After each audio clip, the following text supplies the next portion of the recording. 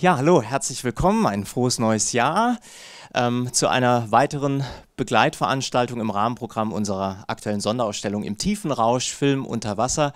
Mein Name ist Michael Kinzer, ich bin Kurator der Ausstellung und eigentlich wollten wir hier an diesem Wochenende die Finissage zelebrieren, also den Abschluss der Ausstellungslaufzeit mit einer Doppelveranstaltung mit zwei Vorstellungen von 20.000 Meilen unter dem Meer, der vielleicht bekanntesten Unterwassergeschichte in Literatur und Film mit zwei verschiedenen Filmversionen heute und morgen. Nun wurde die Ausstellung verlängert, das heißt, es ist nicht der Abschluss heute, es ist einfach ein ja, schönes Wochenende mit äh, tollen Gästen und zwei davon darf ich hier begrüßen. Dr. Saskia Briggs und Dr. James Taylor vom Senckenberg-Institut. Herzlich willkommen. Ähm, Dankeschön. Dankeschön.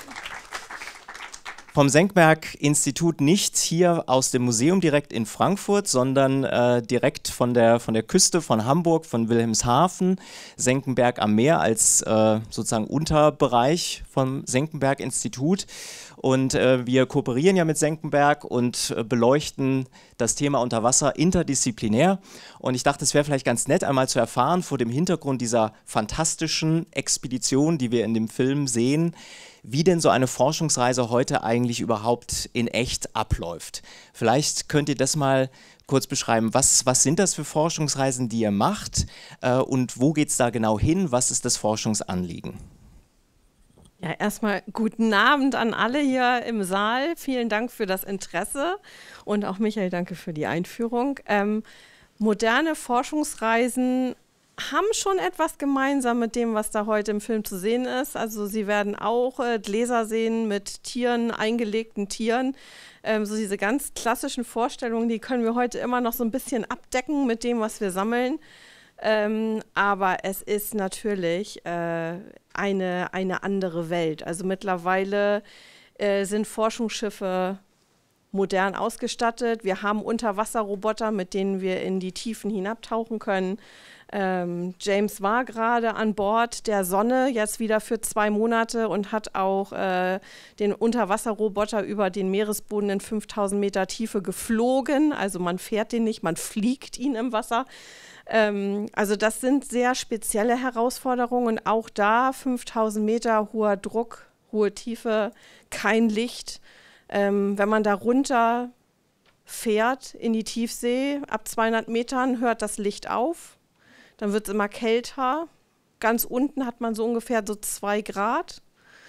Bei 10 Metern ein Bar Wasserdruck kann man sich vorstellen, wie hoch der Druck ganz unten ist, wie stabil äh, die Geräte arbeiten müssen. Ähm, und es ist ein sehr hoher logistischer Aufwand. Also mal eben rausfahren ist nicht, sondern man muss äh, zwei Jahre vorher anfangen zu planen. Man braucht Container-Equipment.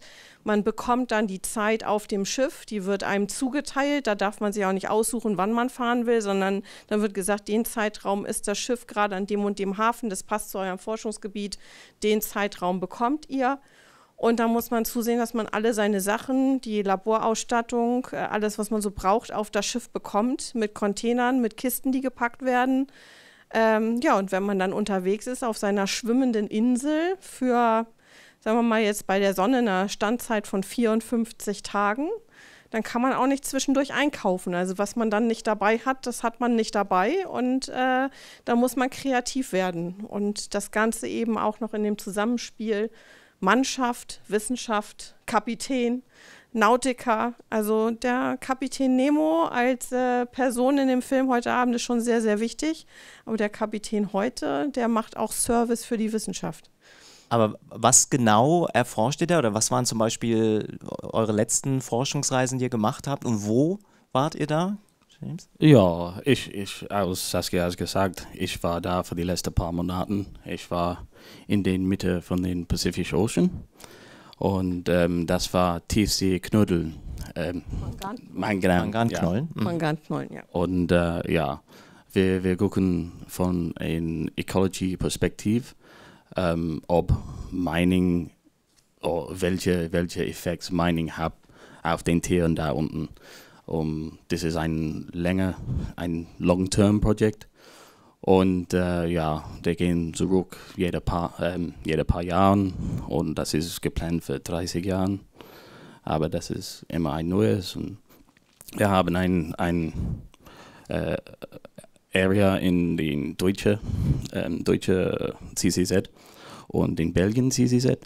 Und beides hat eine Referenzzeit, wer alles war gelast und, und das ist natural. Den, den Tier bleibt da und es ist kein Effekt auf dem. Und dann einer, der hat ein bisschen Mining probiert. Und dann wir können sehen, wie die Tiere kommen zurück, wie lange sie, äh, sie möchten oder ob sie kommen zurück. Das könnte eine totale Katastrophe sein. Dies, dies, dies äh, Manganieskörden sind ja, kleine Insel in den See und wenn sie sind weg, meistens die vorne sind weg. Und ihr seid aber immer auf dem Wasser, ihr seid niemals unter Wasser oder taucht ihr auch jemals selbst ab? Ich weiß, dass ihr beide auch äh, Scuba-Diving-Erfahrung habt. Ihr seid immer an Bord des Schiffes. Ja, so tief können wir gar nicht tauchen. Ne? Also äh, unser Arbeitsgebiet ist die Tiefsee und das ist halt, je nachdem, wie man sie definiert, definitiv unter 200 Metern Wassertiefe. Und da muss man entweder schon sehr, sehr guter Apnoe-Taucher sein oder mit speziellen ähm, Tauchgeräten ausgerüstet. Das schaffen wir gar nicht. Also um dahin zu kommen, wo wir forschen, ähm, benötigen wir Gerät, benötigen wir Robotik. Ähm, und ja, selber natürlich in Küstenregionen, also natürlich Urlaub, tauchen gehen. Mich zieht es immer wieder ans Meer. Ähm, aber na gut, jetzt für die Arbeit und das Arbeitsgebiet ist es dann doch ein bisschen zu tief. Ja, und da ist natürlich Unterwasser-Submersibles, das kann untergehen, wie James Cameron. Er war unten in Mariana Trench. Und dieser, ich vergesse die Namen, aber dieser Billionär auf England, das hat den Five Deeps Challenge gemacht. Jamie Allison. Ja. Ja, er der tiefste Punkt in jeder Ozean. Er war mit oh. uns. Aber bei uns, ja, in Deutschland, da war einer, das war Jago, aber das ist ähm, retired jetzt und wir bleiben bei, bei die ähm, ROV. Ja, wobei Jago, Jago auch eine Wassertiefe von 500 Metern hatte, also schon unterhalb der, der Zone, wo das Licht eindringt, aber 500 Meter ist auch da, wo Kaltwasserkorallen wachsen. Das ist auch ein, ein Arbeitsfeld von uns. Ähm, das sind so 600 bis 1200 Metern, wo wir mit ähm, Kaltwasserkorallen ähm, arbeiten, dann im Nordatlantik oder rund um Island. Das ist auch noch ein Themenfeld neben den Manganknollen. Und ähm, ja, da, da machen wir Grundlagenforschung. Im Prinzip gucken wir dahin, wo noch nie zuvor jemand hingeguckt hat und beschreiben, was da wohnt oder mhm. wer da wohnt.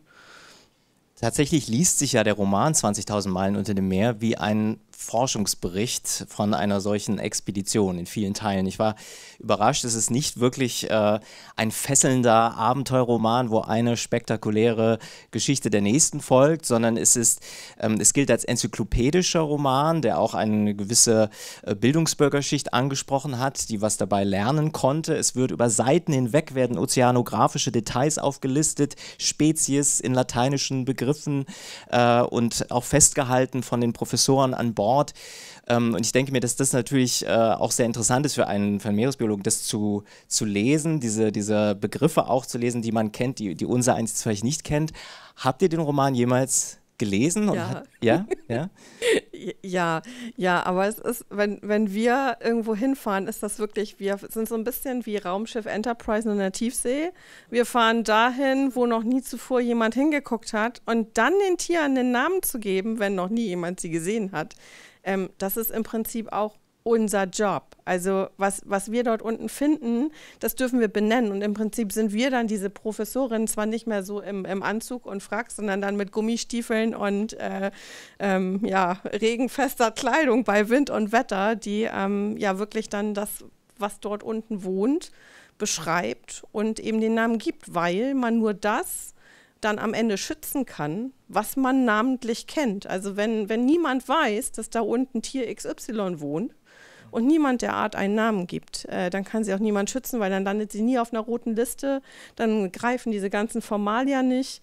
Ähm, deswegen diese Grundlagenforschung. Aber hat euch der Roman oder vielleicht ein anderer oder ein, eine andere Abenteuergeschichte, ein anderer Film vielleicht auch ein Stück weit dazu inspiriert, ähm, Meeresbiologie zu studieren und euch mit diesem Thema zu beschäftigen? James, you can also uh, answer in English. Please yeah, sure. Free to me. Yeah. Um, for myself, it was a lot of so one of my earliest films I remember was Free Willy, and uh, That's probably quite the same for many people here.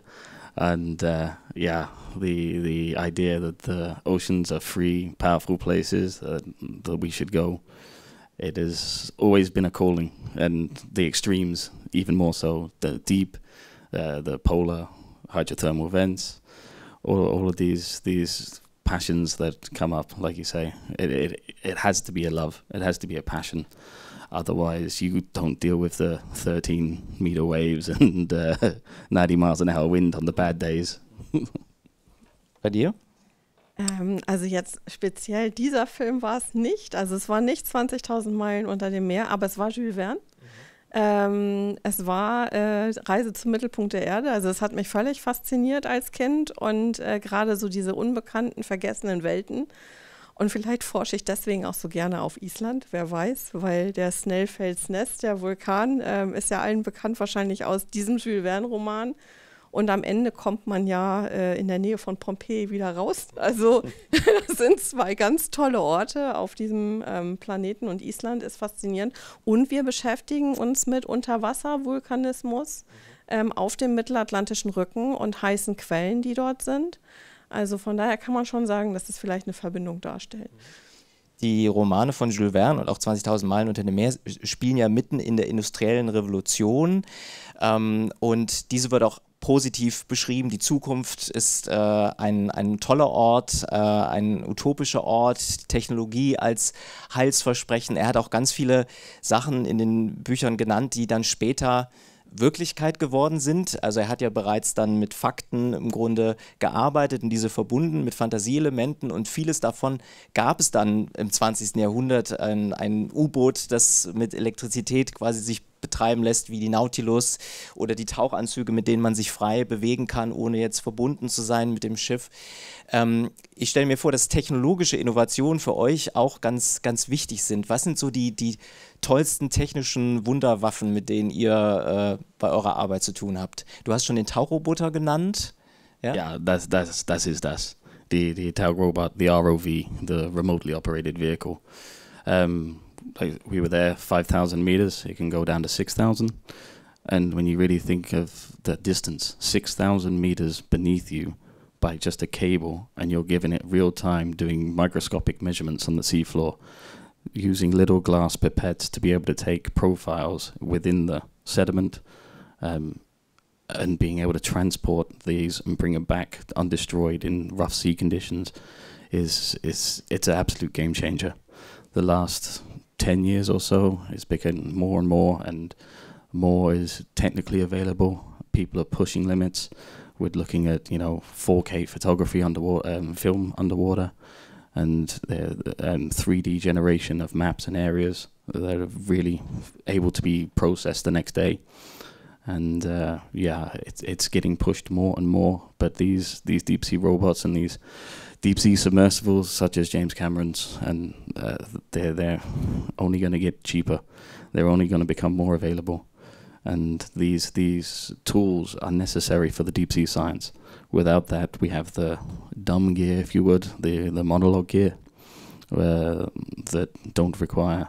Uh, driving or the, the box core, for example, it's a big heavy thing. Boom, take a chunk of sediment, comes up, but you can't do anything fine Sometimes you need a sledgehammer, but the ROV is a scalpel. Ähm, das bringt mich zu der, zu der Forschungsexpedition Ende des 19. Jahrhunderts, die Ingolf-Expedition, es war eine dänische, glaube ich, die in den isländischen Gewässern, wo ihr schon viel geforscht habt, äh, ja im Grunde ganz viel Grundlagenforschung betrieben hat. Ähm, wie kann man sich denn das vorstellen? Ende des 19. Jahrhunderts, 20 Jahre nach Erscheinen des Romans, erst wo es noch keinen äh, Roboter gibt, der unter Wasser ähm, lang fährt, noch keine Unterwasserkameras. Wie haben die das denn damals äh, gemacht? Wisst ihr das? Im Prinzip machen wir anteilig unsere Forschung immer noch genauso. Also man lässt äh, Geräte an einem Draht runter und wenn man heute gibt es noch die Bootsmänner des alten Schlages, die dann die Hand an den Draht halten und sagen, Jetzt ist das Gerät unten. Es hat gerade vibriert. Also im Prinzip muss man sich das vorstellen, dass man das alles haptisch mhm. äh, gemessen hat anhand von Knoten, die man dann in Seile gemacht hat. Und deswegen war das so und so viel Knoten tief. Und äh, es, äh, bis vor fünf Jahren gab es ja auch noch das Forschungsschiff Poseidon. Ähm, die hatte auch kein Metermaß, sondern da waren an der Winde Markierungen dran, wo dann die Matrosen immer noch gezählt haben, bei wie vielen Markierungen denn jetzt bitte das Seil unten ist bis sie dann außer Dienst gestellt wurde. Also die ganz alten Schiffe, die, die hatten das jetzt auch noch von, bis vor ein paar Jahren. Aber sowas, jetzt die Sonne als modernstes deutsches Forschungsschiff, die hat natürlich alles äh, mit automatischen C-Registern. Also da sind 10.000 Meter Draht auf der, auf der Tonne. Ähm, und äh, die werden dann abgespult und dann zählt das Schiff natürlich im, im Automatismus. Und das ist immer noch, äh, um das vergleichbar zu haben mit den früheren Forschungspunkten, ähm, teilweise auch so, dass wir dann die Geräte hinter uns herziehen und gucken, was dann hochkommt. Und ähm, man hat momentan so eine Mischung zwischen altbacken, also im Vergleich zu historischen Daten, dass es auch wiederholbar ist und vergleichbar ist, zu diesen bildgebenden Verfahren und wie James schon gesagt hat, also Game Changer, die bildgebenden Verfahren, dass man wirklich das sieht, was da unten wohnt und lebt, in, in der Vielgestaltigkeit, in der Farbe, in der Faszination. Ähm, wenn wir so tun, als würden wir da unten tauchen, in dem Moment, wo wir mit dem Roboter fliegen, ist das ein ganz anderes Verständnis der Lebenswelt oder des Lebensraums, als wenn man etwas Geschlepptes nach oben bekommt und sich nur, ja, eigentlich ein bisschen raten kann, wie es denn unten lebendig ausgesehen hat. What is that phrase um, from science? Standing on the shoulder of giants. Without what they did before us, we we wouldn't be able to do what we do today. And like Saskia says, a lot of the same principles stay the same. We just have a high tech computer to tell us when the rope is vibrating.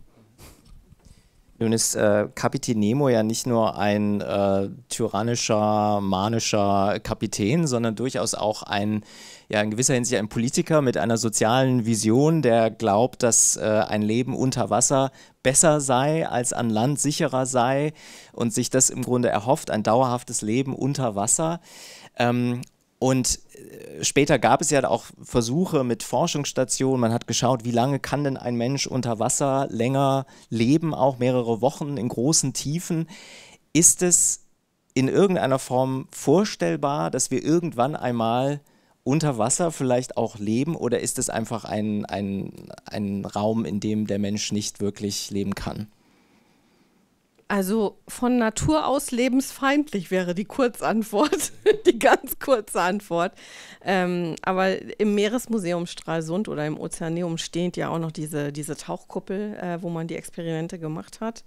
Ähm, also abwegig ist es nicht, auch wieder immer wieder neue Visionen, ob das nun ähm, vor arabischen Küstenstaaten Unterwasserhotels sind oder äh, schwimmende, segelnde Plattformen, wo man ähm, was sieht oder in, auch in Neuverfilmungen. Ähm, ja, ähm, das ist nicht, äh, das, dieses, die Faszination ist immer noch da und natürlich ernährt das Meer den Menschen. In vielen ähm, Küstenregionen ist, ist es die einzige Nahrungsquelle, ähm, um nicht nur in, in ähm, Küstenregionen, die jetzt bedroht sind ähm, vom, vom Meeresspiegelanstieg, wo das Meer die Lebensgrundlage ist und die Menschen mit dem Meer und vom Meer leben. Aber unter Wasser zu leben, ähm, ist eine riesengroße technische Herausforderung.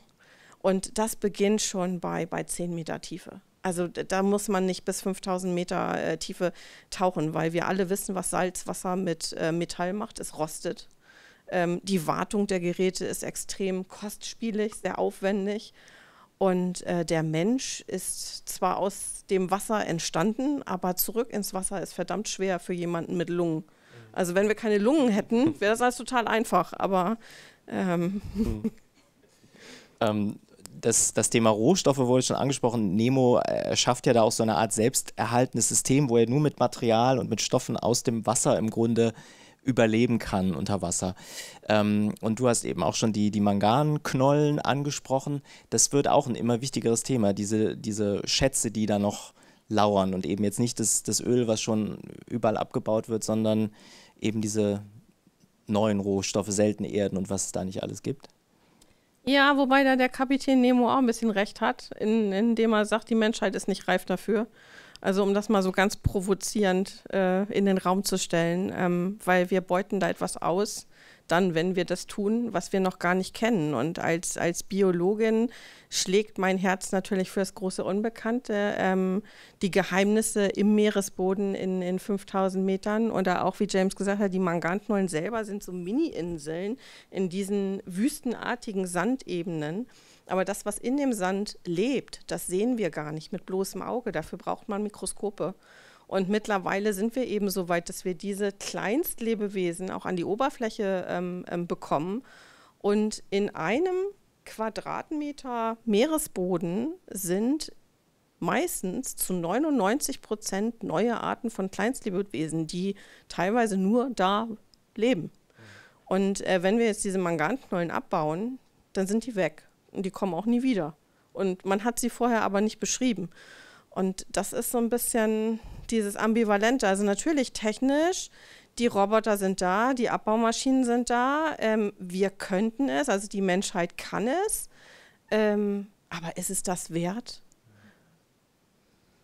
What you say is very true, but it's also what humans do here on land.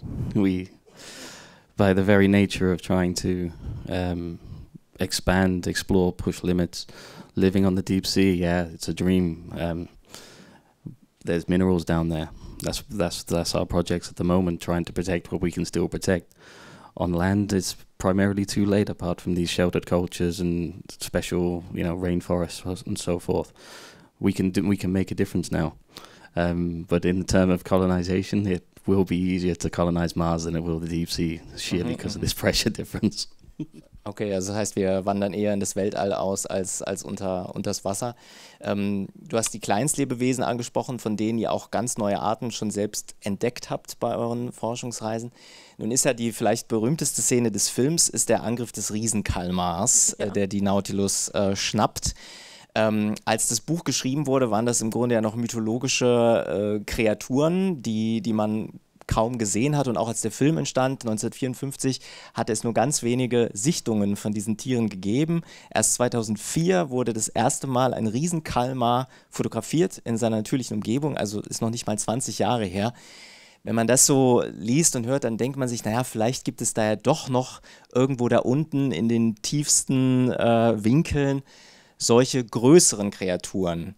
Ist es vorstellbar oder ist es eher wirklich kleinste Mikroben, die man dort noch entdecken würde. Könnte es sein, dass da noch sowas in der Art lauert? Well, as a man that truly believes in Nessie in Scotland, uh, there you can never be sure on what really is under there. And when you're at sea, there's nothing around you. You see things, and uh, there are some very big stuff. We go down with that robot. You see a giant shadow that's obviously magnified in the light, and you go, "Hang on a minute, what was that?" Um, the realisticness, of course, we have these large giant squids, but to take down ships, probably not. But we can we can still dream. Ja, vielleicht sollten wir so ein bisschen nach Japan fahren. Also James Tech ist eines der größten äh, Unterwasserforschungsinstitute im asiatischen Raum. Ähm, und äh, da ist die Forschung nach dem Riesenkalmar und die Suche nach dem Riesenkalmar ein hochaktuelles Thema und auch äh, um das Verhalten äh, des Riesenkalmars zu studieren. Ähm, diese Tiere gibt es wirklich, sie sind gigantisch, sie haben ein spezifisches Beuteverhalten. Ähm, aber es ist wahnsinnig schwer, äh, sie zu sichten. Und dafür braucht man eben gute U-Boote. Ähm, die Japaner sind die am besten ausgerüsteten äh, Forscher momentan, was das angeht. Müssen wir uns ein bisschen mehr nach Asien orientieren. Yeah, every culture has them. Well, you say we study off the coast of Iceland, and they talk about the the legendary whales and the kraken that take down ships or lead sailors to drowning. All these things that stem from a time where there wasn't documentation or or this, that and the other. But ja, wir, wir könnten jetzt auch noch isländische Mythen ausgraben, also isländische Sagas der Seemänner. Ähm, es gibt einen Wal, der nennt sich Lynbakir und äh, der sieht aus wie eine Insel. Und ähm, wenn jetzt die verlorenen Seefahrer denken, sie sind an Land und stranden auf dieser Insel und suchen nach Wasser, ähm, dann verwechseln sie leider den vermeintlichen Tümpel mit seinen Augen und stechen ihm mit dem Eimer dann dummerweise ins Auge und dann taucht der Wal ab und nimmt das ganze Schiff mit. Ähm, also es gibt überall diese, diese Sagen, ähm, die basieren auf Erlebnissen von Seefahrern, die natürlich erzählt haben, wenn sie wieder an Land waren. Und äh, die Sagas haben schon irgendwo einen, einen Kern. Aber mhm. wie viel Wahrheit da dran ist, das bleibt dann jedem selbst überlassen. Da möchte ich jetzt noch einmal auf die, die soziale Komponente an Bord zurückkommen, weil ich mir das unglaublich schwierig vorstelle, wenn ihr da mehrere Monate zum Teil auf einem Schiff seid, wo du sagst, das ist 90 Meter, sind so die größeren Schiffe lang. Ähm, das ist jetzt ja gar nicht mal so groß. Und da läuft man denselben Leuten immer wieder über den Weg. Und wenn da jemand so, so knorrig ist wie äh, Kapitän Nemo oder so, so impulsiv wie äh, Ned Land, die Figur, die Kirk Douglas spielt, dann zehrt das sicherlich auch mal irgendwie an den Nerven, oder? Wie ist, wie ist das? Ja, man kann das manchmal durchaus als soziales Experiment bezeichnen. Also so 90 Meter Schiffslänge sind manchmal nicht lang genug. Wenn, wenn aber äh, da muss man mit umgehen können und ähm, ich glaube, da macht jeder so seine eigenen Erfahrungen und man muss sich auch so ein bisschen austesten. Also James und ich, wir wissen, dass wir jederzeit wieder zusammenfahren können, äh, weil äh, wir halten das miteinander aus, auch wenn das acht, neun oder zehn Wochen sind. Ähm, das funktioniert, aber das geht nicht mit jedem. ja, ja, du bist ganz geduldig, ich weiß. ja. Yeah, um, like we're with this, like you say, you're with the same.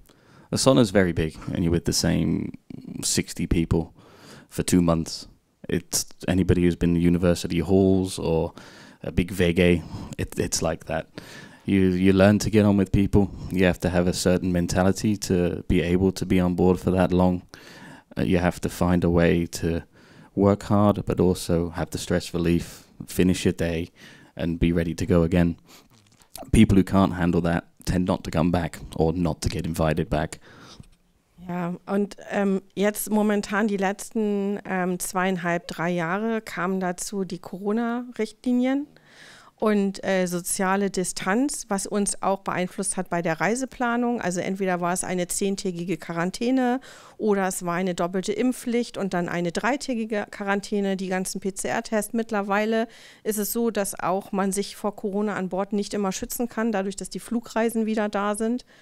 Ähm, und wenn man dann Corona an Bord hat, ist man zwei Wochen im sozialen Ausnahmezustand. Und dann ist das sozusagen nicht nur die Belastung, dass man mit Maske arbeiten muss und äh, auch hart arbeiten muss, äh, sondern dass man auch dann abends in seiner Kammer mehr oder weniger alleine ist, weil man ja diese sozialen Kontakte äh, vermeiden soll. Und dass dieses, das dann in dieser speziellen Situation, wo man einer hohen, körperlichen Belastung ausgesetzt ist, dann sozusagen diese Schiffsatmosphäre noch dazu. Also da, das macht es nicht einfacher. Und der Weg jetzt sozusagen zurück zur Normalität, der ist sehr schwer. Und äh, da merken wir, dass es gerade bei den letzten Schiffsreisen, auch was wir hier als, als Senckenberg-Reise organisiert haben, ähm, man da mit einigen Herausforderungen zu kämpfen hat. Ähm, aber ähm, Wissenschaftler sind von Natur aus neugierig und lassen sich gerne auf Experimente ein. Jeder von uns würde wieder fahren. Yeah, and it's also you talk about potentially getting on nerves, but now we return to a point of normality. It becomes once again one of the best jobs I could imagine doing. You get to meet so many people from so many different backgrounds. Um, because the world's opening again after Corona, it's such an international group. Uh, this time, you know, we got England, Germany, USA, a guy from Congo, Holland, um, you know, Japan, and you get to meet all these interesting people from different backgrounds and, and get to get to know some different cultures. Yeah, you might not gel, but people tend to get on and it's, it's a really interesting, wonderful place to be as well at times. Und du hast gesagt, der Koch ist der Wichtigste an Bord? Äh, definitiv, ja. ja. True Engine Room. Ja, und äh, ich ziehe wirklich meinen nicht vorhandenen Hut. Äh, wir hatten auf einer Reise im Wintersturm wirklich bis zu 14 äh, Meter hohe Welle. Und äh, wir sind dann noch ausgewichen und da waren die Wellen immer noch so 19 Meter. Ähm, und es ist alles durcheinander gefallen in der Kombüse. Es ist alles durcheinander gefallen. Es waren die Regale umgekippt. Es lag das Mehl mit dem Öl, mit den Oliven, mit den Eiern. Es, es war wirklich das größte Chaos, was man sich vorstellen kann, wenn man so dieses Schiff voll hat mit 100 Personen. Und er hat weitergekocht. er hat weitergekocht und es war morgens das Frühstück mit Pfannkuchen da, weil man musste ja die Eier benutzen. Ähm, also, die, die, will man dann noch essen bei, bei so einem Sturm, die Pfannkuchen? Ne, man hat doch ja dann trotzdem Hunger. Und Samstag war noch ein Topf. Ein Topf. Ja, ein Topf, genau. Der Eintopf ging auch noch. Ich weiß nicht, wie der nicht rausgeschwappt ist, aber äh, es hat funktioniert. Also Hut ab vor dem Koch ähm, ja. und vor der Leistung in der Küche. Ähm, dann vielleicht jetzt nochmal zum Abschluss, beschreib nochmal, was war so das vielleicht bisher tollste Erlebnis, was ihr hattet bei euren Forschungsreisen? Kann man das benennen? Und eine letzten Entdeckung. Da haben wir was. Da haben, da haben wir was, beides. Also das wirklich emotionalste war, da waren wir zusammen südlich vor Island. Ähm, wir wussten, da ist ein ja, Geothermalfeld. Also rein theoretisch ist vor Island alle 100 Kilometer ein Vulkan unter Wasser. Aber die zu finden, ist wie eine Nadel im Heuhaufen. Und wir waren so auf 750 Meter Wassertiefe und wir wussten von den Signalen, da muss was sein. Ähm, und wir waren mit dem Tauchroboter da unten und ich war in dem Moment im Kontrollraum und die Entscheidung war, tauchst du jetzt runter, da ist eine Fischerleine und wir verheddern uns eventuell und laufen Gefahr, weil das war der Original-Track. Oder gehen wir hoch, weichen der Leine aus und versuchen das anders. Und die Entscheidung, hochzutauchen, brachte in Sicht auf einmal diese heiße Quelle, mit der keiner an der Stelle gerechnet hatte. Und so dieser Tauchroboter hat ein Fenster von ungefähr sechs Metern. Und wir haben uns vier Jahre lang auf diesen Moment vorbereitet und haben diese heiße Quelle gesucht. Und als sie dann in dem Scheinwerferlicht aufgetaucht war. Das war so ein unglaubliches Glücksgefühl, dass die Daten richtig waren, dass unsere Interpretation der Stelle richtig war, dass wir Tiere gefunden haben, die noch nie jemand zuvor gesehen hat, genau da. Und ähm, genau, das ist James großer Job. Er wird äh, diese Hydrothermalquelle beschreiben und alles, was da wohnt. Und das ist unser Ziel, dass wir das dieses Jahr publizieren und äh, dass das wirklich dann offiziell ist, dass es dieses Gebiet unter Wasser gibt. Yeah, that really was the moment. Everything leading up to that, like you say, the first cruise we did together, where we found one and couldn't find that one, but then we found this one, and so many last minute changes. So we changed the dive plan based on the bathymetry hours, like literally half an hour before we started the dive, and then this on the fly. Und change. wir hatten nur fünf Stunden Zeit. Wir hatten, da kam ein Sturm. Also wir waren gerade in so einem Loch zwischen zwei Stürmen und die Tauchzeit war exakt fünf Stunden. Da musste das Gerät wieder oben an Deck sein, weil sonst die Wellen zu hoch geworden wären. Und äh, diese fünf Stunden, die waren es. Also das klingt äh, fast so aufregend wie auf der Nautilus, auf jeden Fall. Ähm, gibt es noch weitere Fragen aus dem Publikum an die beiden?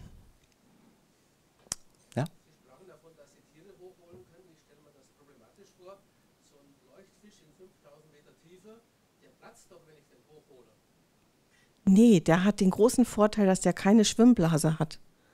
Alle Fische mit Schwimmblase platzen, da haben Sie recht. Aber Fische ohne Schwimmblase kriegen Sie unversehrt an die Oberfläche. Teilweise ja. Ja, ja. Also wir haben auch den, ähm, wir haben versucht, die Tiere an Bord zu hältern, auch um das Verhalten zu studieren. Und auch wenn wir jetzt einfach ich spreche mal von ganz blöde Schlamm, also den Schlamm von unten in ein Aquarium zu tun und zu gucken, ähm, wer kommt da raus aus dem Schlamm, sehen wir die Tiere lebend und das funktioniert ganz gut bis einer Wassertiefe von 1000 Metern. Da kann man durchaus lebend hältern und kann die Tiere beobachten. Es wird sehr, sehr schwierig, wenn sie dann angewiesen sind auf größere Wassertiefen. Ähm, ja, also das ist dann netter für das Tier, wenn es dann oben relativ schnell nicht mehr lebt, als dass man das Tier dann quält, wenn es so lange hochgekommen ist. Also da ist jedes Mal, da blutet einem auch so ein bisschen das, das ethische Herz, dass man Arten, die noch nie jemand zuvor gesehen hat, hinterher dann doch wieder ins Museum, hier im Senckenberg-Museum, in, in die Sammlung tut und sie dann als, als tote Referenzexemplare da sind. Auf der anderen Seite muss man das immer wieder dann argumentativ entkräften und sagen, wenn ich das nicht machen würde, dann könnte ich die anderen dieser Art nicht schützen, weil dann gibt es sie offiziell nicht. Ich brauche mein Belegexemplar. Ähm, da ist, das ist eine ethische Diskussion und die jetzt hier zu führen, würde wahrscheinlich den Rahmen sprengen des ganzen Abends, aber ähm, ja, da, das ist uns durchaus bewusst. Ja, die Dame.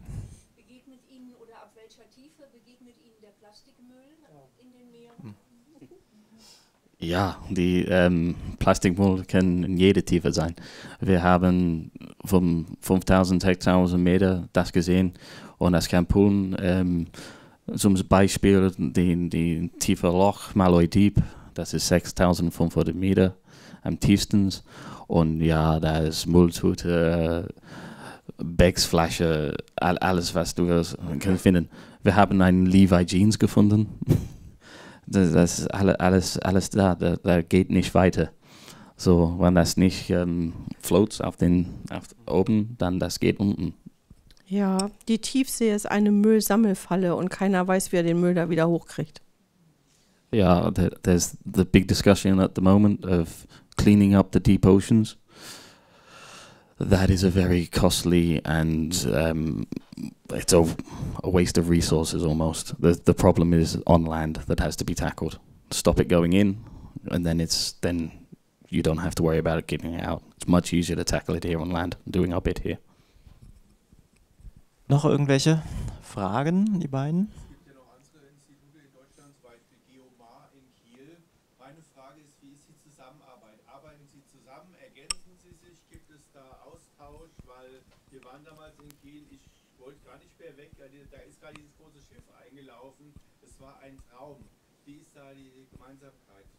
Auf jeden Fall. Also James ist das beste Beispiel, was ihr setzt. James war gerade zwei Monate ausgeliehen an äh, das Geomar, um äh, das Team vom Unterwasserroboter mit zu unterstützen an Bord.